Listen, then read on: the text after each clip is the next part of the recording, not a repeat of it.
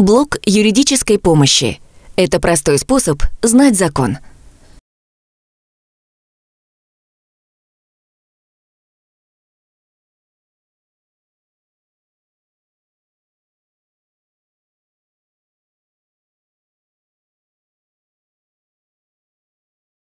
Российским пенсионерам рассказали о новой прибавке, которую смогут получить уже все пожилые граждане. Увеличение сумм ощутят совсем скоро даже работающие пожилые. И для них индексация станет абсолютно рекордной. Приятное изменение ожидает пенсионеров уже через несколько месяцев. С января 2024 года в нашей стране будут проиндексированы сразу несколько важных показателей. Так, в первую очередь ожидается увеличение страховых пенсий для неработающих пенсионеров. Предварительно показатель индексации установлен на уровне 7,5%, но прибавка может быть и выше, если по итогам года инфляция обгонит эту цифру. Стоит обратить внимание на рост прожиточного минимума.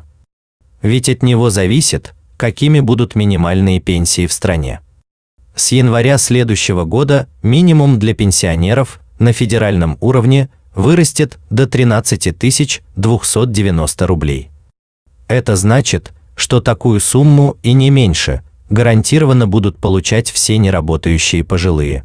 При этом на индексацию с нового года смогут рассчитывать и работающие пенсионеры. Обычно пожилых людей которые официально трудоустроены, обходят стороной с прибавками. Но в ближайшее время планируется повысить минимальный размер оплаты труда. А это значит, что работающие пожилые станут получать больше, тем более что большинство пенсионеров как раз трудятся по минимальной ставке. В этот раз МРОД увеличится сразу до 19 242 рублей, то есть почти на 19%. Это будет рекордная индексация за все время современной России. Так сильно данный показатель в нашей стране еще не повышали, так что можно порадоваться и за эту категорию граждан. Ставьте лайк, если считаете, что пенсии необходимо повышать чаще, больше и всем пенсионерам, а также напишите, какие сейчас должны быть пенсии для комфортной жизни пенсионеров.